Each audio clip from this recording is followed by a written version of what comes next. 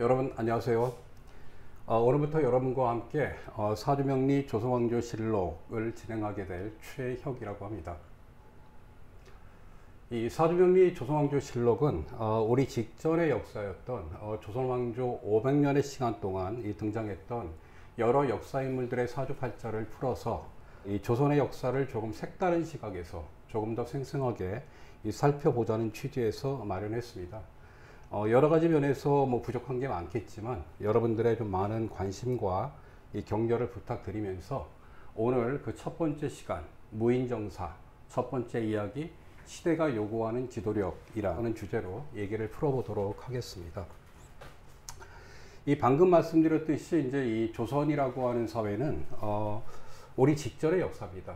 우리 직전의 역사. 물론 이제 지금 현대 사회 대한민국이라고 하는 이 나라 전에는 일제히 식민지 감정기라고 하는 시대가 있었지만요. 어쨌든 이 근대사와 현대사 이전에 그 이 한반도에서 이렇게 진행됐던 역사는 이제 조선이라고 하는 그런 이제 왕조의 어떤 역사였죠.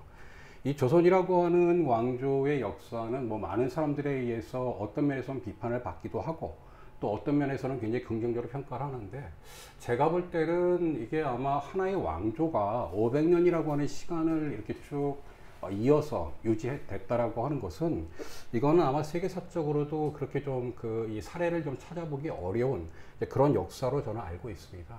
그러니까 실제로 그 오랜 시간 동안 하나의 왕조가 유지됐다라고 하는 것은 그만한 이유가 있었던 거죠. 뭔가 이제 그 어떤 사회를 지탱했던 이념이라든지 또 사회를 유지해 나가는 어떤 시스템 같은 게 있었는데요. 자, 그런데 이 조선이라고 하는 이 그 왕조가 어떻게 만들어졌습니까? 이게 이제 고려라고 하는 또 이전에 이제 왕조가 이제 거의 뭐 말에 가서는 어 굉장히 좀 부패해지고 외세의 어떤 침범도 받고 이러면서 이제 상당히 좀 이렇게 그 재생의 가능성이 없는 그런 이제 낡은 사회로 정, 그러니까 이렇게 전락하게 되니까 당시에 이제 새로운 이념인 그 성리학으로 무장한 소위 얘기하는 이제 신진 사대부가 혁명을 일으키는 거죠. 혁명을 일으킨 겁니다. 그래서 말씀드렸던 대로 이제 성리학이라고 하는 이념이 입각해서 도덕적인 이상 사회를 좀 만들자라고 하는 취지로 해서 이제 만들어진 그 나라가 이 조선이라고 하는 나라인데요. 근데 이 조선이라고 하는 나라가 이제 그 이 개국 초기에는 뭐 당연히 그렇겠지만 굉장히 좀 혼란스러웠겠죠. 혼란스러웠고 무엇보다도 이제 당시에 이제 어떤 왕위의 계승 뭐 이렇게 당연히 조선을 처음 어, 개국한 왕은 이제 여러분도 잘 아시는 이성계라고 하는 그 인물인데요. 그 이성계가 이제 그 왕위를 좀 계승하는 문제를 뭐 논의하는 과정에서 심각한 정치적인 어떤 분란들이 일어나게 됩니다. 그건 이제 여러분도 잘 아시는 소위 이제 왕자의 난이라고 해서 뭐 1차, 2차 이렇게 뭐 이제 있다고 알고 있는데요.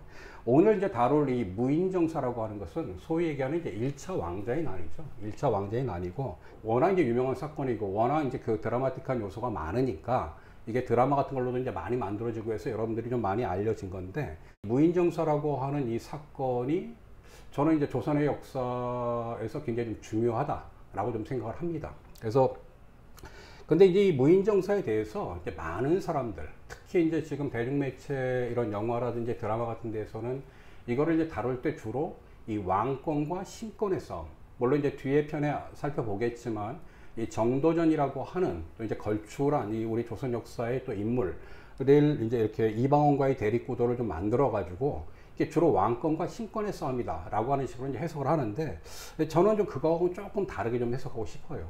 오히려 이거는 왕권과 신권의 싸움이었다기보다는 뭐 더 정확히 얘기하면 이제 여기 나와 있는 태조라고 하는 이성계 아버지와 이 태종 이방원이죠 아들 아버지와 아들의 싸움이었다. 즉 부자간의 권력 투쟁이었다. 그리고 그 부자간의 권력 투쟁이 어떤 단순한 어떤 뭐 사심, 어떤 사적인 어떤 그런 욕망에 의한 싸움이었다기보다도 이 개국 초기에 어떤 이 조선이 어떤 방향으로 나아갈 것인가 라고 하는 바로 이제 그런 좀 굉장히 좀 중요한 문제를 둘러싼 소위 얘기하는 이 지도력의 문제였다. 지도력, 어떤 지도력이 조선에 필요한 지도력이었는가 라고 하는 이제 이런 주제의 문제가 아니었는가 라고 하는 관점에서 해석을 하고 싶고요. 이제 그런 면에서 오늘 이제 바로 그 당시에 이제 중요한 이제 역사 인물이라고 얘기할 수 있는 태조 이성계와 태종 이방원의 이런 사주팔자를 풀어서 그들의 기질이 각각 어떠한 지적으로, 지도력으로 표출됐었고 그것이 왜 이 무인정사와 같은 이런 사건으로 이게 드러나게 되었는가 라고 하는 것을 한번 얘기를 해보도록 하겠습니다. 그래서 이제 먼저 그 이제 두 사람의 사주부터 간단하게 좀 풀어볼게요. 이제 풀어보면 먼저 이제 그 왼쪽에 있는 게 이제 태조 그 이성계의 이제 사주입니다. 1335년 10월 8일 이제 음력입니다. 이게 태어나 가지고 어, 을해년 병술월 기미일이라고 하는 이런 이제 어, 3주가 나옵니다. 그러니까 원래 이제 4주라고 하면 저 시간까지 해서 나와야 되는데 이 좀 아쉽게도 이 조선의 이제 왕의 사주를 기록한 이런 이제 그 이걸 보면요. 대부분 저 시가 나와 있지 않습니다. 거의 대부분이. 물론 이제 전해지는 이런 시들이 좀 있긴 있어요. 있긴 있지만 뭐 이게 좀 정확도가 좀 떨어지기 때문에 보통 시간은 빼고 이게 좀 연월일 이 세 개의 주만 가지고 얘기를 할 텐데 이렇게 이제 사주가 나오게 되고요. 이제 태종 이방원은 1367년 5월 16일 이렇게 이제 태어난 걸로 돼 있어서요. 이 음력입니다, 역시. 그래서 정미년, 병오월, 그리고 신묘일이라고 하는 이런 이제 또 세 개의 어떤 이또이또 이제 주가 또 나오게 됩니다. 자, 근데 이제 이러한 이제 사주 팔자를 갖고 있는 사람들의 이제 그 기질이라고 하는 게 도대체 어떤가라고 하는 걸 볼 텐데, 먼저 이제 태조 이성계를 좀 보면요. 좀 이렇게 특징이 하나 있습니다. 이제 먼저 첫으로 말씀드릴 거는 이 사주 팔자라고 하는 것은 이제 그 자신이 태어난 어떤 이 그 시간에 이제 만들어지는 어떤 우주의 기운을 이제 받아들여서 이걸 이제 사람들이 이해할 수 있는 기호화시킨 거라고 얘기할 수 있는데 이걸 보면요. 을해 병술 김이라고 해가지고 근데 여기 이제 보면 연월 일이라고 되어 있습니다. 근데 여기서 이제 제일 중요한 게 이게 앞으로 계속 반복될 거라서 제가 미리 말씀드리면 이 일이라고 하는 자리입니다. 일. 자기가 태어난 날. 그러니까 자기가 태어난 날의 요 자리를 일주라고 얘기합니다. 이거를 이제 일주라고 얘기하는 거고 이게 자기를 얘기하는 겁니다. 그 이제 보통 위에는 천간이라고 하고 밑에는 이제 지지라고 얘기하는데요. 그래서 이제 특히 요 자리가 바로 자기 자신의 자리입니다. 그래서 이걸 일간이라고 해서 이제 이건데 자 이걸 보면은 태조 이성계 같은 경우는 일간이 바로 기토이다. 즉 노란색으로 돼 있죠. 이거는 이제 오행으로 얘기하면 토가 되는 거고요. 자 일주를 놓고 보면 자, 바로 이 기토라고 하는 이 토 아래 글자의 색깔이 또 뭡니까? 또 노란색이죠. 그래서 일주에 있는 천간과 지지가 다 같은 이런 노란색으로, 즉 같은 오행으로 구성된 이런 이제 그 이 특징을 좀 가지고 있어요. 자, 이것도 이제 역시 앞으로 많이 나와서 미리 조금 이제 부연 설명을 하면 이렇게 자기가 어떤 태어난 날, 물론 이제 다른 자리도 마찬가지지만 이런 천간과 지지가 동일한 오행으로 구성된 것을 가녀지동이라고 합니다. 가녀지동. 즉 천간과 지지가 같다. 오행이 같다라고 하는 거예요. 자, 이렇게 이제 김이라고 해서 즉 근데 이게 또 토로 이루어진 거란 말이에요. 토로 이루어진 거예요. 자, 이런 특징을 갖고 있다. 자, 저기 이제 무슨 뜻일까? 뭐 잘 모르시겠죠. 사주를 잘 모르니까. 이건 뭐냐면요. 자, 이제 보통 뭐 뒤에 말씀드리겠지만 이 태종 이제 이방원 같은 경우는 일주가 신묘라고 해서 뭐 이렇게 위와 아래의 색깔이 좀 다르잖아요. 물론 월은 똑같이 위에도 빨간색, 밑에도 이제 빨간색 해서 또 역시 간여지동이 되죠. 그리고 뭐 이런 데 보면 대부분의 경우는 이렇게 천간과 지지의 어떤 이 그 오행이 같지 않는 경우가 좀 이렇게 오히려 더 많습니다. 그런데 이제 특히 자기 자리라고 하는 이런 일의 자리에서 천간과 지지가 동일한 오행으로 돼 있다. 이걸 이제 간여지동이라고 얘기하는데 이런 사람들의 특징은 뭐냐면요. 자기의 주관, 자기의 고집, 자기의 독립성이 굉장히 강하다라고 하는 걸 뜻합니다. 바로 그런 걸 뜻하는 거예요. 앞서 말씀드린 대로 일간의 보통 사주팔자에서는 자기 자리라고 얘기하는 거예요. 근데 바로 자기 밑에 있는 글자가 자기하고 똑같은 오행으로 구성되어 있다 라고 하는 거는 바로 위아래가 같다. 일관되다. 이런 이제 특징을 갖고 있다는 거죠. 그래서 이제 이거를 좀 긍정적으로 얘기하면은 앞서도 말씀드렸지만 주관이 강하고 독립성이 강하고 굉장히 좀 자주성이 강하다 이런 얘기 되는데 우리가 이제 동양에서는 보통 어떻게 얘기하냐면 항상 좋은 것과 나쁜 것이 따로 있는 게 아니라 하나 안에 있다고 얘기했죠. 그러니까 이제 이러한 장점은 곧바로 다른 단점이 되는 거예요. 그럼 어떤 단점이 있겠어요? 그쵸. 내 고집이 강하니까 배타적이 되는 거죠. 다른 사람의 말을 잘 듣겠어요? 안 듣겠어요? 안 듣게 되고 자기가 하고 싶은 대로 하게 되는 거죠. 자, 이런 특징을 가지고 있다는 겁니다. 자, 두 번째 특징은 뭐냐면요. 자, 이게 이제 뭐 여섯 개의 이제 글자들이 나오는데 뭐 색깔로 놓고 보면 색깔이 좀몇 가지가 있습니까? 자, 초록색 있고 빨간색 있고 노란색 있고 여기 검정색이 있습니다. 그래서 모두 네 개의 색깔이 있어요. 그런데 제일 많은 색깔이 뭐예요? 노란색이 제일 많죠. 자, 본인 자신이 기토라고 해서 토오행의 이제 어떤 사주다라고 얘기를 했는데 밑에 있는 이 미라고 하는 글자도 노란색 토오행이고 여기 이제 월이라고 해서 이 월, 이걸 월지라고 하는데 이 자리도 굉장히 중요한 자리거든요. 이 자리도 또 역시 노란색으로 이루어져 있어요. 그러니까 전체적으로 사주 팔자에서 토의 기운이 굉장히 강한 이런 사주다라고 얘기할 수 있는 거예요. 자, 이거를 조금 명리하게 이제 좀 전문적인 용어로 얘기를 하면 이거를 이제 그 비견 겁제라고 얘기합니다. 줄여서 비겁이라고 얘기하거든요. 그거는 이제 자기 자신을 뜻하는 건데 앞서 말씀드린 간여지동이라고 하는 걸 이제 설명했던 것과 비슷한 거예요. 즉 사주팔자에 이렇게 자기와 같은 이런 비견과 겁체라고 하는 이런 이제 기운들이 많은 사람들은요 자기가 많은 거예요. 그러니까 에고가 강한 거고 내가 강한 많은 거예요. 근데 그런 특징을 갖고 있어요. 그런데 재미난 거는 이게 다 무슨 오행으로 구성돼서 토의 오행으로 구성되어 있잖아요. 그러니까 뭐냐면 태조 이성계는 상당히 토기가 강한 사람이다 이런 얘기를 하는 거예요. 자, 그럼 뭐 토기가 강하다는 것도 무슨 뜻일까요? 자, 우리가 이제 오행이라고 하는 것은 기본적으로 다섯 가지가 있습니다. 이게 뭐냐면 목, 화, 토, 금, 수 이래가지고 이 초록색이 목이라고 해서 이제 보통 나무로 많이 상징이 되고요. 이 빨간색이 화라고 해가지고 이건 보통 이제 불에 많이 비유를 합니다. 불 같은 기운이 있죠. 그 다음에 이제 이 토예요, 토. 토는 뭐냐면 말 그대로 땅입니다. 땅. 그 다음에 이제 여기 그 이 금이라고 해서 하얀색의 이제 금이라고 이건 쇠붙이에 보통 비유를 하고 그리고 이제 하나가 나머지 하나가 이 바로 이 수라고 해가지고 검정색의 이제 이 그 수, 물을 얘기하는 거거든요. 자, 그런데 여기서 태조 이성계 같은 경우는 주로 토의 기운이 많다라고 하는 거예요. 그 이성계가 이렇게 많이 갖고 있는 토의 기운이라고 하는 것을 이제 명리학에서는 이제 화개살이라고도 얘기를 합니다.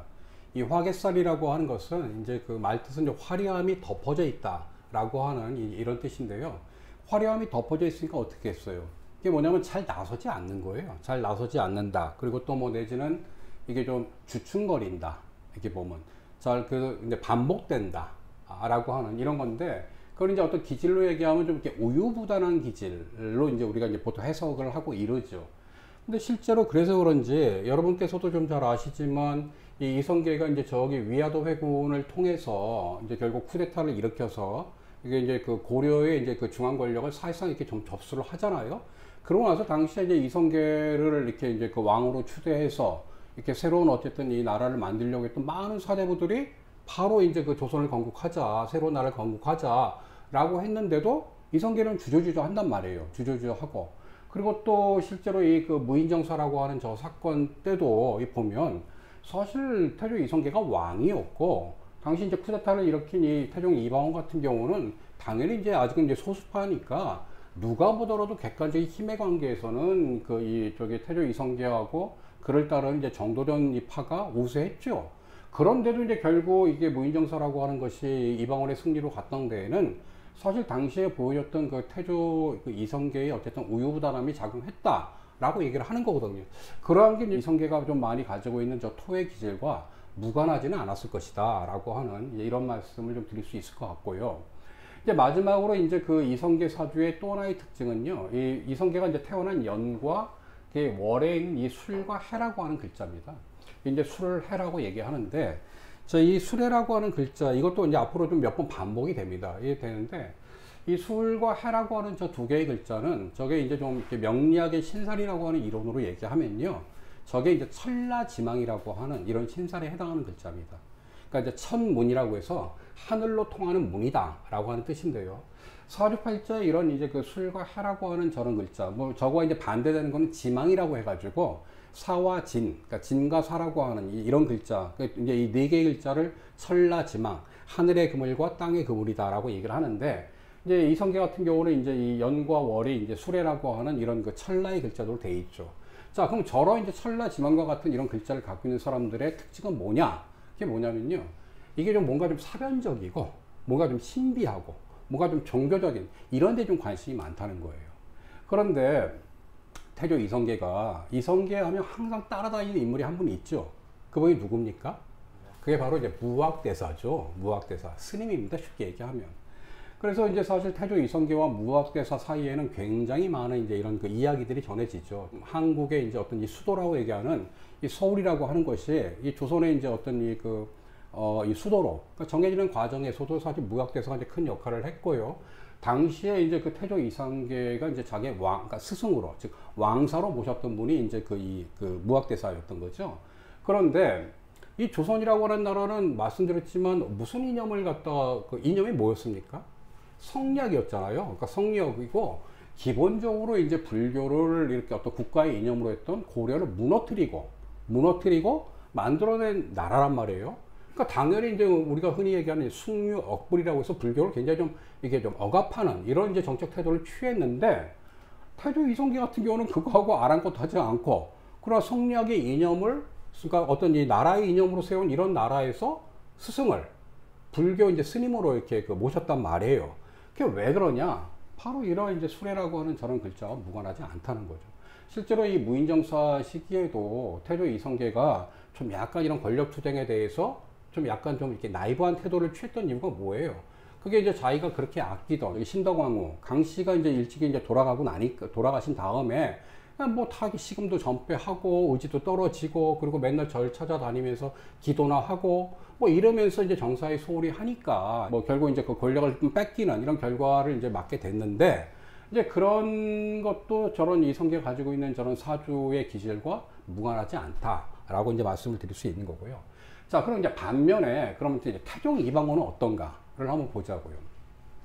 말씀드린 태종 이방원 같은 경우는 이제 정미, 병호, 신명 이렇게 돼 있습니다. 근데 이제 아버지하고 다르죠. 그러니까 이 사주팔자에서 자기를 가리키는 이 일주라고 하는 자리가 아버지는 이 위와 아래의 글자가 전부 다, 다 토의 오행으로 이루어진 간여지동인데 이 태종 이방원 같은 경우는 위하고 아래의 색깔이 달라요. 근데 여기서 먼저 자기 자신을 뜻하는 이 일간이라고 하는 자리가 뭐로 되어 있냐? 자, 신이라고 해서 이게 매울 신자죠. 예, 매울 신자. 자, 이 금으로 되어 있습니다. 천간의 글자들은 모두 10개가 있는데 그게 이제 음과 양으로 나뉘어요. 그래서 이게 이제 금의 글자인데 이거는 음의 금의 글자입니다. 음금이라고 얘기합니다. 그래서 딱 봐도 글자가 어때요? 굉장히 좌우의 균형이 딱 갖춘 굉장히 깔끔하고 굉장히 좀 예쁘게 생긴 글자죠. 그래서 기본적으로 저 일간이 신금인 사람들, 그러니까 신금인 사람들은 어떠한 기질을 갖고 있냐면 굉장히 깔끔합니다. 그리고 봉투송 용모도 굉장히 좀 예쁘다고 얘기를 합니다. 그래서 이제 이 무인정사를 다룬 드라마가 굉장히 많았잖아요. 이 사극들이 굉장히 많았단 말이에요. 그래서 거기서 이제 뭐 그 이방원 같은 경우는 워낙 이제 유명한 역사 인물이고 하니까 항상 주인공은 나오는데 이 관련해서 이제 뭐 제가 기억하고 있는 드라마는 크게 두 가지가 있어요. 하나는 뭐냐면 굉장히 오래전에 했던 용의 눈물이라고 하는 드라마. 거기서는 이제 유동근이라고 하는 배우가 이제 그 이방원의 역할을 맡았고요. 그 다음에 뭐 역시 이제 몇 년 전에 있었던 그 육룡이 나르샤라고 얘기하는 그런 약간 좀 퓨전화된 이런 사극에서는 누가 이제 이방원 역할을 했습니까? 거기서 이제 유아인이라고 하는 이런 배우가 또 이제 이방원 역할을 했는데 제가 이 사주를 보고 나서 그 둘 중에서 누가 이방원에 좀 흡수할까 하면 저는 유아인이었다고 생각해요. 딱 이제 그런 어떤 그 느낌의 이런 이제 글자다. 그런데 아래 글자는 뭐냐면요. 묘라고 해가지고 초록색의 목의 글자입니다. 목의 글자. 그러니까 천간과 지지가 일주에 있는 천간과 지지가 금과 목은 서로 정반대되는 기운이거든요. 그래서 이게 이 관계는 금극목이라고 해가지고 내가 극하는 오행을 깔고 있는 거예요. 이걸 이제 재성이라고 얘기합니다. 이 명략의 어떤 전문 용어로. 그래서 이 재성이라고 하는 거는 뭐냐면 보통 재물을 상징하는 얘기인데 그거는 뭐냐면 내가 소유하려고 하는 욕망이 굉장히 강하다는 거예요. 그래서 이제 기본적으로 그런 특징을 하나 가지고 있다라고 하는 겁니다. 그리고 또 하나 이제 이 그 태종 이방원의 이제 사주의 특징은 뭐냐면요. 자, 이제 이쪽을 보시면은 자, 아까 아버지 이성계 같은 경우는 무슨 색깔이 가장 많았어요? 노란색이 제일 많았죠. 즉 토호행이 많았단 말이에요. 그런데 우리 그 태종 이방원 같은 경우 무슨 색깔이 많습니까? 보면 빨간색이 굉장히 많죠. 그렇죠? 빨간색이 굉장히 많아요. 자, 이 빨간색은 뭐냐면 오행으로 화라고 얘기합니다. 즉 불이라고 얘기할 수 있는 거예요. 그런데요, 재미난 게, 자, 일간이 뭐예요? 신금이라고 해서 음, 우리가 음양에서 음, 그러니까 즉 작고 이게 좀 굉장히 좀 이렇게 그 정제된 깔끔한 이런 이제 그 보석과 같은 이런 이제 그, 어, 그 금을 얘기하는 건데 여기서 보면 자기를 둘러싸고 있는 글자들이 보면 전부 다 화의 글자들이 굉장히 강하다는 거예요. 자, 그럼 이 관계가 어때요? 화극금에서 나를 극하는 오행이에요. 아까 이 목이라고 하는 것은 내가 극하는 오행인데 이 빨간색은 나를 극하는 오행이 되는 거예요. 나를 극하는 오행. 그래서 이걸 갖다 이제 명리학에서는 관성이라고 얘기합니다. 우리가 이제 보통 이제 관직에 오른다, 어떤 권력, 뭐 직업 이런 걸 상징하는 글자인데 그리고 이렇게 되면요 밑에 목하고 화라고 하는 거는 자 목화는 어때요? 서로 친한 거죠. 왜냐면 보통 나무가 불에 뗄감이 되잖아요. 그러니까 전체적으로 보면은 자기 일가를 둘러싸고 주변의 화의 기운, 즉 목과 화의 기운, 즉 자기를 불편하게 만드는 이런 기운들이 굉장히 강하다 라고 얘기할 수 있는 거예요. 앞서 이성계 같은 경우는 자기가 토인데 주변에 그 자기와 같은 글자들 그리고 이 화라고 하는 거는 화생토에서 나를 도와주는 글자입니다. 그러니까 전체적으로 내가 강하고 내의 기운이 굉장히 강한 거예요. 근데 반면에 태종 이방원 같은 경우는 나를 둘러싸고 있는 모든 글자가 다 내 힘을 빼는 글자들입니다. 그래서 이제 이런 거를 갖다가 보통 이성계는 신강한 사주다. 그리고 태종 이방원은 신약한 사주다. 이렇게 얘기를 합니다. 근데 이 보통 신강, 신약하면 사람들은 신강은 좋은 거, 신약은 안 좋은 거. 이렇게 알고 있는데 그렇게 알면 안 되는 거예요. 그런 게 아니라 그냥 신강은 신강한 사주고 신약한 건 신약한 사주고요. 거기에 따른 장점과 단점은 다 있는 겁니다. 자, 그런데요. 이렇게 이제 화의 기운이 많다는 게 뭐냐? 아까도 말씀드린 이 화의 기운은 이방원에게는 화극 금이라고 해서 나를 극하는 오행, 나를 불편하게 만드는 오행이라고 해서 이거를 이제 명략의 어떤 이 용어로 관성이라고 얘기했어요. 자, 관성이라고 하는 건 뭐냐면 권력에 대한 욕망입니다. 쉽게 얘기하면. 그러니까 굉장히 좀 세속적인 이런 욕망인데요. 아까 태종 이방원이 자기 밑에 일지라고 하는 곳에 두고 있는 게 뭐예요? 재성이라고 그랬죠. 보통 재성, 관성. 그래서 재성과 관성이라고 해서 우리가 이제 흔히 뭐 쉽게 하면 돈과 명예와 권력 이런 거예요. 그러니까 세상 사람들이 살아가는데 물론 가치를 여러 군데 두고 있지만 많은 사람들이 관심을 갖는 게 뭐예요? 돈에 관심이 있고 그 다음에 또 명예와 권력, 뭐 지위 이런 거 아닙니까? 그래서 굉장히 세속적인 어떤 그런 기질이라고 얘기하는데 바로 그런 기질이 굉장히 강하다는 거죠. 게다가 월주를 놓고 보면 위아래가 앞서 얘기했던 태조 이성계의 일주와 같은 간여지동으로 돼 있잖아요. 그래서 이게 이제 보면 또 명략의 이 격국이라고 하는 또 이론이 있습니다. 이거 좀 워낙 어려운 거라서 깊게 들어가지는 않을 건데 그렇게 놓고 보면 이방원 같은 경우는 소위 이 격국에서 뭐냐면 관격, 정관격 내지는 평관격이라고 해서 굉장히 권력 의지가 강한 그런 기질의 사람이다라고 이제 이렇게 알 수가 있는 거예요. 그러니까 여기서 이제 재미난 게 나오는 거예요. 자, 내가 분명히 신약한데, 신약하면 우리가 이제 일반적인 뜻으로는 뭔가를 좀 실현해 나갈 힘이 없다. 이렇게 좀 생각할 수 있는데, 사주의 기질은 뭐냐면 굉장히 권력에 대한 욕망과 의지가 강한 이런 거란 말이에요. 그러니까 이게 어떻게 표현됐겠어요? 주도 면밀한 걸로 표현됐겠죠. 실제로 보통 이제 재성과 관성이 많은 사람들의 특징은 뭐냐면요. 굉장히 사물을 통제하려고 하는 이런 이 욕구가 강하고요. 그거를 뒷받침할 수 있는, 그걸 실행할 수 있는 이런 주도 면밀한 계획성을 갖춘 사람들이라고 얘기하거든요. 근데 실제로 태종 이방원 같은 경우는 이성계의 몇째 아들입니까? 다섯째 아들입니다.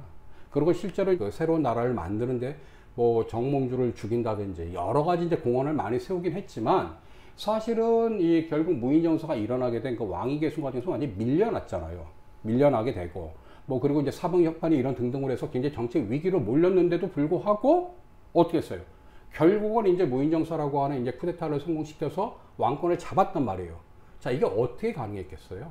그거는 그 권력과 목표에 대한 어떤 권력이라고 하는 그 목표에 대한 강한 어떤 이 의지와 함께 그것을 실행해 나갈 수 있는 굉장히 주도 면밀한 그런 계획성, 인내력 이런 걸 갖고 있었다는 거죠. 그거는 뭐냐면 소위 신약했기 때문에 저는 가능했다라고 보는 거예요. 자, 이런 특징을 갖고 있다. 또 하나 특징이 뭐냐? 마지막은 자, 밑에 있는 글자를 보면요. 이 묘하고 오라고 하는 글자가 이렇게 있는 걸 알 수 있습니다. 지지에는 모두 12개의 글자가 있습니다. 근데 이 12개의 글자들이 보통 이게 한 3개의 그룹은 나눠요. 그게 뭐냐면 이제 보통 시작하는 글자라고 해서 영마의 글자가 있고요. 그건 이제 인신사이라고 하는 글자들이 이제 보통 영마살의 글자라고 얘기하고 여기 나오는 묘와 오라고 하는 즉 자오묘라고 해서 이 중심자의 어쨌든 역할을 하는 이런 글자가 있습니다. 이거는 도화사이라고 얘기합니다. 그 다음에 이제 저기 그 이성계 가지고 있는 저 술미와 같이 진술충미라고 해서 맨 그 마지막을 차지하는 화개살의 글자로 이렇게 나눠지는데요. 이 지지에 좀 어떤 글자들을 주로 깔고 있느냐에 따라서 그 사람의 또 기질이 드러나긴 하는데 태종 이방원 같은 경우는 뭐냐면 묘오라고 해서 소위 중심자, 즉 도화사의 기질이 많다는 거예요. 이 도화살의 기질이 많다. 이게 무슨 뜻이냐? 네, 이제 그거는 어떻게 해석해야 되냐면 내가 중심자니까 내가 항상 스포트라이트를 받으려고 하는 이런 욕망이 강한 거예요. 쉽게 얘기하면 무대 체질이야 이거죠. 내가 좀 주목을 받아야 되고 뭔가 그러려고 하는 이런 욕망이 강한 거예요. 그러니까 이제 정치를 하는 사람들은 당연히 권력의 중심에 내가 있어야 된다라고 하는 거고 뭐 그냥 일반적인 사람들은 뭔가 그래도 화려하게 이제 사람들이 좀 이렇게 봐주고 박수 쳐주고 이런 걸 즐길 수 있는 사람이라는 거죠. 바로 그런 기질의 사람이다. 근데 동시에 이게 이렇게 바로 밑에 있잖아요. 이런 경우에는 보통 이제 이성과의 스캔들이 많이 일어납니다. 그래서 실제로 태종 이방원과 그의 부인이었던 그러니까 이 원경왕후 사이에는 이제 굉장히 좀 많은 이런 또 이제 갈등들이 있잖아요. 그게 주로 어디서 많이 비롯됐어요? 태종 이방원의 여성 편력 때문인 거죠. 자, 그런 특징들을 좀 갖고 있다라고 하는 겁니다.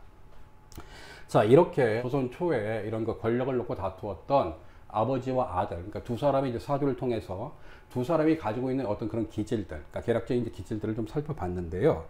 자, 여기서 이제 제가 말씀드리려고 하는 게 이겁니다. 이제 앞으로 이제 사주명리 조선왕조 실록을 진행하다 보면 주택에 이제 많이 왕의 사주들을 이제 주로 다룹니다. 아무래도 그 당시에는 왕권 이제 그 중심의 사회다 보니까 아무래도 정치 중심이 왕이고요. 그래서 어떤 왕이냐, 어떤 기질의 왕이냐에 따라서 많은 이제 사건들이 일어나게 되는 거죠. 근데 이제 여기서 많이 나오는 질문들이 하나 있죠. 그게 뭐예요? 이 명리 그러면 보통 왕의 사주는 있느냐라고 하는 겁니다. 조선의 왕이 모두 이제 27명이 있는데요. 그거를 쭉 보고서 저도 이제 왕이 되는 사주가 따로 있느냐라고 한 걸 봤는데 사실 저의 결론은 없다는 거였습니다.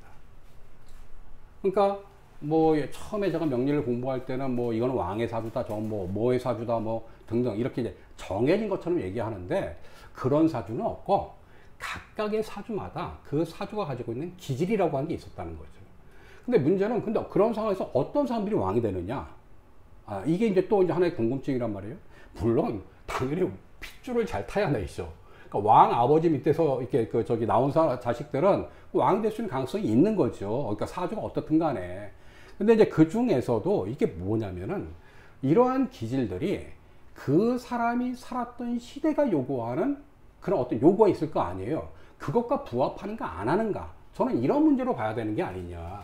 그러니까 즉 왕이라고 하는 어떤 이 사주도 중요하지만 그 왕이 그 시대에 과연 제대로 된 역할을 했는가 못했는가 라고 하는 것은 그 사람이 타고난 기질과 그가 살아가는 그 시대, 그 시대가 요구하는 여러 가지 문제들이 있는 거 아닙니까? 그런 어떤 시대가 요구하는 그런 어떤 과제를 해결하는데 이게 부합되는가 부합되지 않는가 라고 하는 관점에서 봐야 되는 게 아니냐. 바로 그런 면에서 저 무인정사라고 하는 사건이 뭐예요? 저게 기본적으로 어떤 이 낡고 부패한 이런 이제 고려를 이제 무너뜨리고 새로운 도덕적인 이성 사회를 만들겠다라고 해서 만든 사회니까 얼마나 혼란스러웠겠어요. 보면 정치적으로 안정도 안 됐지. 아직까지 이제 여러 가지 이제 해결할 이런 개혁의 과제들이 남아 있고 하는데 자 이때 요구되는 지도력이 과연 뭐였을까라고 하는 걸 보면 그건 뭐겠어요? 단호한 개혁이었겠죠. 그러니까 어떤 이 그 자신이 이제 추구했던 어떤 그런 이 좀 방향 을 일관되게 유지하고 또 그거를 이제 실현해 나가기 위한 어떤 좀 주도 면밀한 계획이 필요하고 또 그것을 실현해 나가는 단호한 어떤 실행력 같은 게 이제 필요했을 텐데 제가 말씀드린 이런 태조와 태종이라고 하는 두 사람의 사주에서 나오는 그런 기질로 봤을 때 누가 과연 부합했겠는가? 저는 당연히 태종 이방원이 아니었겠는가. 그래서 실제로 당시 이 싸움이라고 하는 것이 보면 단순히 우리가 이제 보통 이런 역사를 보면 항상 주인공들의 갈등이라고 보지만 그 이면에 뭐가 있어요? 무엇인가 암묵적인 지지라고 하는 게 있지 않았습니까? 그러니까 뭔가 조선을 개국한 어떤 새로운 이런 신인 사대부에서는 이런 이방원이라고 하는 이, 그, 이 사람의 어떤 지도력이라고 하는 것이 모두 아, 이것이 뭔가 좀 새로운 나라를 만드는데 필요한 그런 리더십이 아니겠는가라고 하는 공감이 있었기 때문에 결국 이 무인정사라고 하는 것이 가능하지 않았겠는가라고 하는 생각을 저는 해보는 거고요. 실제로 이거는 지금 21세를 살아가는 우리 사회도 여전히 고민해야 될 문제라고 생각합니다. 앞으로 이제 조만간 있으면은 이제 우리 사회도 이제 그 대통령 선거라고 하는 또 새로운 어떤 이런 그 리더십을 이렇게 좀 뽑아야 되는 이런 이제 정치적인 어, 상황을 맞게 되는데요. 맞게 되는데 과연 이 시대가 요구하는 리더십은 무엇인가? 과연 거기에 부합하는 인물이 누구인가? 라고 하는 거를 사실 이런 무인정사라고 하는 이런 역사 사건을 통해서 한번 고민해 보는 그런 이제 시간을 어, 갖게 되면 가, 가, 갖게 됐으면 좋겠다라고 하는 이런 말씀을 좀 드리고 싶고요. 자 이제 마지막으로 얘기를 정리하면 자 그렇다라고 하면 사실 당시에 이제 상황에서요 누가 보더라도 결국 이 무인정사라고 하는 게 뭐예요? 그러니까 이제 태조 이성계가 결국 이제 자기의 왕위를 이제 물려주는 이 후계 구도를 결정한 데서 문제가 생긴 거란 말이에요. 그때 이제 많은 뭐 지금의 사람들도 당시의 역사를 조금만 공부해 보면 이건 누가 봐도 이건 그 저기 뭐야 방언이가 좀 권력을 승계해야 된다라고 하는 이런 생각을 할 것이고 당시에도 실제 저 무인정사 당시에도 상당히 많은 어떤 당시의 어떤 신료들은 방언이가 해야 된다 공이 많은 사람이 어 뭐 이렇게 해야 되는데 누가 됐습니까 태조의 이제 그 어떤 갭이었던 그 신덕왕후 강씨가 낳은 이제 아, 어린 어린 자식 방석이죠 그때 뭐 나이가 겨우 10대밖에 안 되는 얘가 그냥 덜컥 이제 그 세자가 돼버린 거예요. 그러니까 여기서 문제가 된 거죠. 이게 문제가 된 거란 말이에요. 자, 그런데 아무리 봐도 이게 상식적으로 잘 이해가 되지 않는 그런 결정이 왜 이루어졌는가? 거기에는 또다시 이 무의정서와 관계된 또 인물들이 또 드러납니다. 바로 말씀드린 그 태조 이성계의 계비였던 신동왕후 강씨, 그 다음에 또 태종 이방원의 또 이제 그 부인이었던 원경왕후 민씨, 또 이런 그 여인들의 또 역할들이 또 있는데요. 그거는 우리가 다음 시간에 살펴보는 것으로 하고 오늘 그 사주명리 조선왕조 실록 첫 번째 시간은 이것으로 마무리하도록 하겠습니다.